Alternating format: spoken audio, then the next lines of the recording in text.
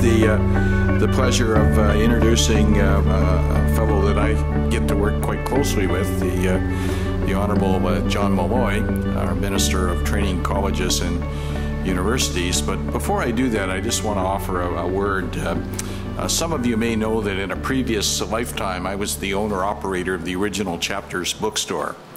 And uh, we made uh, and took a real interest in, and, and uh, made the time to uh, promote literacy uh, because it's the bridge, it's the link. You know, the mayor mentioned infrastructure. If we're not building our human infrastructure as well, we're really spinning our wheels. And um, it's, it's important that we do that.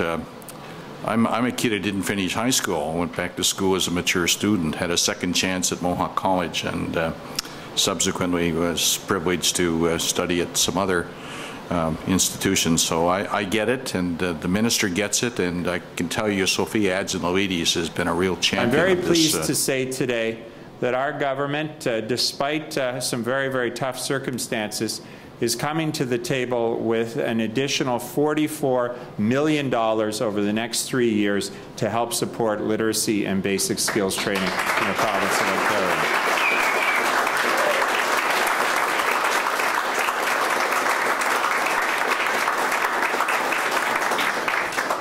So let me tell you, let me break down the, the, the, 44 million a little bit for you. Of that 44 million, 5 million of it is going to be invested in uh, groups and organizations to make sure that uh, we update uh, our curriculum, that we standardize our curriculum, to make sure that we can provide a better teaching and better learning experience for uh, students across the province.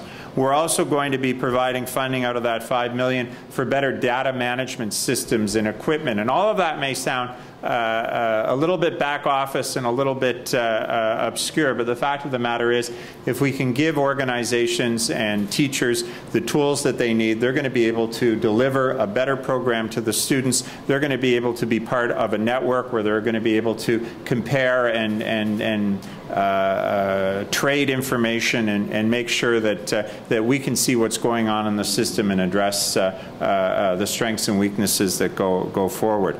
The other $39 million uh, works out, of course, to be $13 million a year. And what we are going to be doing is adding that amount of money to the base funding of various groups and organizations, colleges, school boards, and community organizations across this province, as well as adding it to uh, those organizations that provide literacy uh, training online. So $13 million a year will now be part of the permanent literacy budget for that very, very important network across uh, the province of Ontario. In total, our government will be spending over $87 million on literacy and basic skills training to support about 50,000 people across the province of Ontario, including 1,400 people in Hamilton. So those that will be benefiting from this increase are the Hamilton here locally, of course, the Hamilton Wentworth District School Board, the Hamilton Regional Indian Center, the Hamilton Wentworth Catholic District School Board, Mohawk College, the Hamilton and District Literacy Council, and the Canadian National Institute for the Blind. All will receive permanent increases to their operating budgets to allow them to serve more clients the funding uh, is apportioned on a formula basis, but I've got to tell you the minimum that they will receive is an 8.3% boost to their bottom line.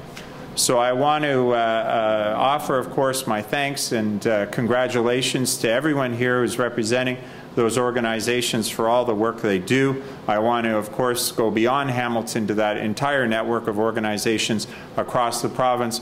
Uh, as I say, community groups school boards, colleges that offer literacy and basic skills. I want to thank the various umbrella groups who advocate and help coordinate literacy uh, uh, training, the volunteer boards that run many of these groups, and of course the boards of education, the teachers and administrators who reach out to the students, and of course the volunteers, which are such a backbone when it comes to many community groups and organizations.